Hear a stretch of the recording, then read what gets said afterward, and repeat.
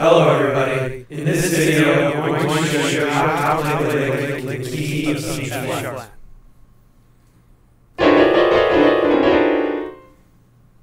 So, the key is C probably the key almost every not really know what key to I was right? Yeah, please never play the lick, but it should be really so. You should probably play the lick at every possible moment.